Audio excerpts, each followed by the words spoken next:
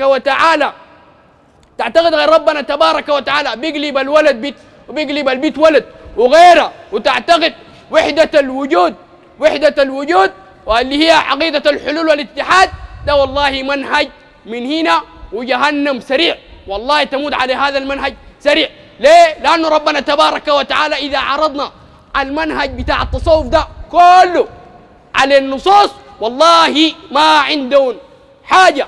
خليك من العقيدة العبادات بتاعتهم دي والله ما عندهم عبادة بتوافق عبادة النبي صلى الله عليه وسلم. أي عبادة إما زايدينها وإما شنو منقصين منها بعد الصلاة الواحد يقول لك الفاتحة يا مولانا. الفاتحة دي عمل النبي صلى الله عليه وسلم. ما عملها الدعاء الجماعي. يشيلوا الدعاء الجماعي. بدعة. الواحد تلقى ماسك السبحة. بدعة.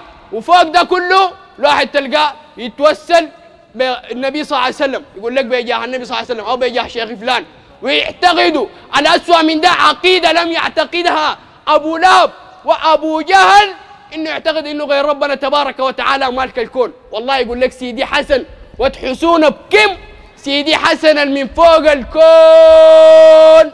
متحكم. يا ناس ربنا تبارك وتعالى يقول لله ملك السماوات والأرض وربنا تبارك وتعالى يقول تبارك الذي بيده الملك. يقول لك السيدي الكباشي يقول لك أبونا الكباشي ربنا اداه شنو؟ الدرجة الكونية على لسانه إنه يقول للشيء فيكون. وربنا تبارك وتعالى يقول إنما أمره إذا أراد شيئا أن يقول له كن فيكون. فدي كلها من البدع والمحدثات يا ناس ما في حاجة اسمها أحزاب ما في حاجة اسمها صوفية في الدين الإسلامي تصوف ده ما النبي صلى الله عليه وسلم كان صوفي. عمر بن الخطاب أبي بكر الصديق رضي الله عنه علي بن أبي طالب عثمان بن عفان الإمام مالك الإمام أحمد الإمام أبو حنيفة كلهم هل كانوا صوفية.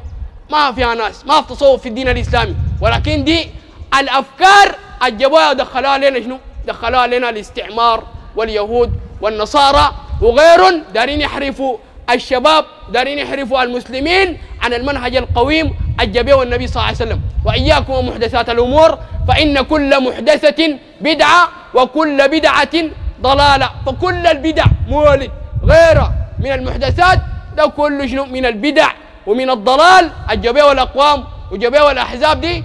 فالإنسان عليه أن يحقق تقوى الله تبارك وتعالى وأن يسمع ويطيع لما أمره النبي صلى الله عليه وسلم بالسمع والطاعة له وأن يجتنب المحدثات جميعها صغيرها وكبيرها وأن. وأن يجتنب أهم حاجة تجتنب الأحزاب العطالة اللي هناك دل فهذا وصلى الله وسلم على محمد.